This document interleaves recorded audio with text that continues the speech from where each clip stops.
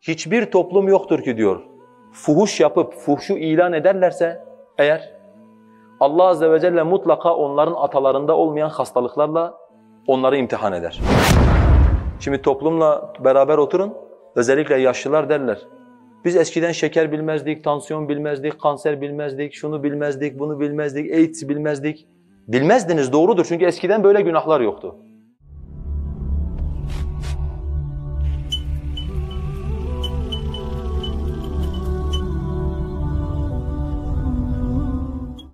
Bugün Batı toplumuna bakın. Bizim topraklarımızda işgal etmedikleri tek bir toprak parçası kalmamıştır.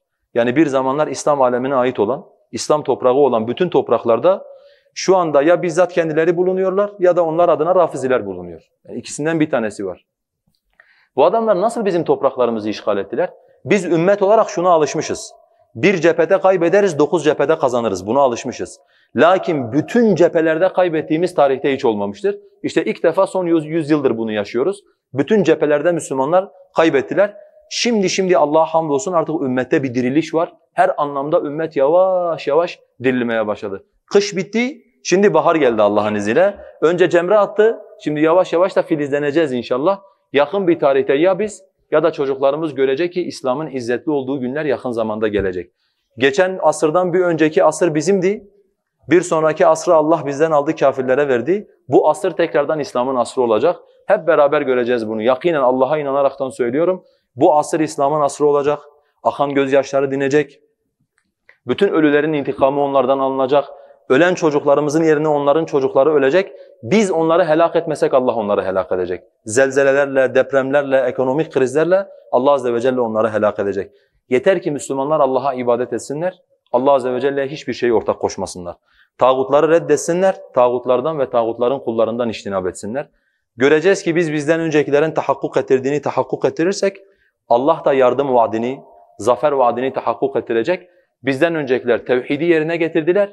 Allah azze ve celle yeryüzünde onlara temkin verdi. Bütün yeryüzünü onların ayaklarının önüne serdi.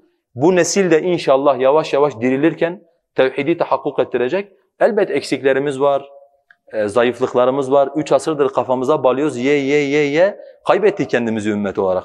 Ama inşallah şimdi yavaş yavaş Kur'an ve sünnetle aranacağız. Kitabı ve hikmeti öğreneceğiz. Allah'ın ayetlerini tilavet edeceğiz. Tarihe peygamber bir nesil çıkardığı gibi bu ümmet de tarihe yeniden bir nesil çıkaracak Allah'ın izniyle. Allah'a güvenerek söylüyorum bunu. Batılılar bizim topraklarımızı işgal etmeden önce son işgal, son Haçlı seferinden bahsediyorum. Bizim kitaplarımızı araştırdılar. Bu adamları güçlü kılan ne? Bu adamları zayıf kılan ne? Bunlardan bir öğrenelim. Bunlar neden korkuyorlar dediler. Baktılar ki bizim alimlerimizin hepsinin nas kılmış olduğu bir şey var. Bizim alimlerimiz diyorlar ki biz takvayla yeryüzünün sahibi oluruz. Günahlarla yeryüzünde tekrardan köle oluruz. Hani İbn Abdülber'in naklettiğine göre bir gün Ömer radıyallahu anh'ın elçisi savaştan döndü. Dedi ki ey Ömer savaşı kazandık Allah'a hamdolsun. Ömer dedi ki radıyallahu anh savaş ne zaman başladı? Dedi ki sabah başladı. Peki savaş ne zaman bitti? Dedi akşam bitti. Ömer radıyallahu anh ağlamaya başladı. Elçi şaşırdı. Ey Ömer dedi ben sana diyorum ki biz zafer kazandık. Sen oturup ağlıyorsun. Ömer dedi ki vallahi küfür İslam'ın karşısında bir gün boyunca dayanamaz.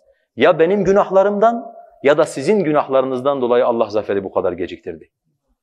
Küfür İslam'ın karşısında sabahtan akşama kadar dayanamaz.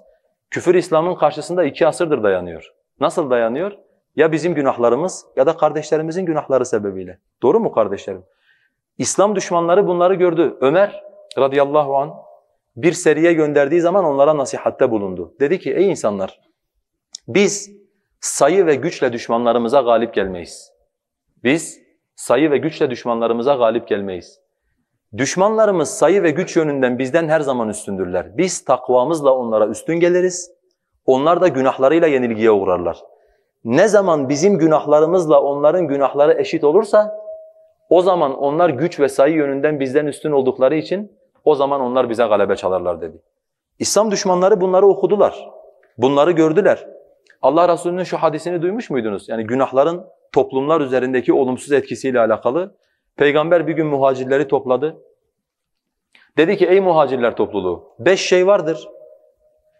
Siz onlarla imtihan olursanız ve ben Allah'a sığınıyorum ki siz onlara yetişesiniz. Yani peygamber onlar adına Allah'a sığınıyor. İnşallah onlara yetişmezsiniz diyor. Beş şey.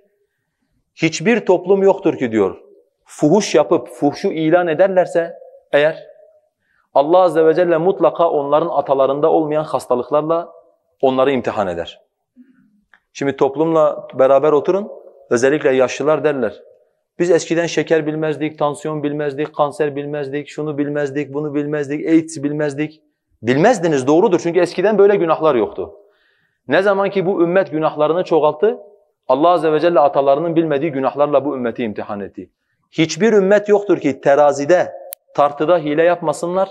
Allah mutlaka onları kıtlıkla, geçim sıkıntısıyla ve sultanların zulmüyle onları imtihan etmiş olmasın. Hiçbir ümmet yoktur ki zekatını men etsin, Allah onlara yağmuru kesmesin. Eğer hayvanlar olmasaydı Allah asla onlara yağmur yağdırmazdı. Hiçbir ümmet yoktur ki Allah'a ve Resulüne verdikleri sözü bozmasınlar. Allah'a ve Resulüne verdiğimiz söz nedir kardeşler?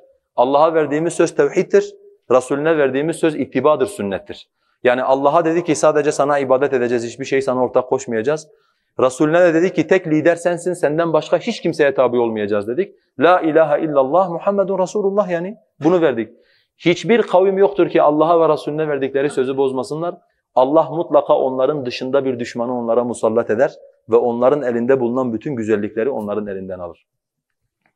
Hiçbir e, kavim yoktur ki onların liderleri onların arasında kitap ile hükmetmesin. Mutlaka Allah azze ve celle onların kendi aralarında problemler kılar. Birbiriyle çatışan, birbiriyle çekişen, bölünmüş bir toplum haline gelirler. Dikkat ederseniz beş tane musibet saydı Allah Resulü. Beş musibetin sebebi de insanların işlemiş olduğu günahlardır.